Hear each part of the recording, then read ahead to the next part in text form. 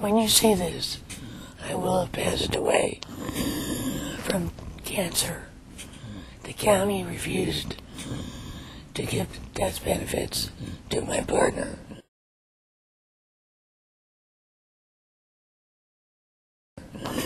And that's why gay couples are fighting for equality.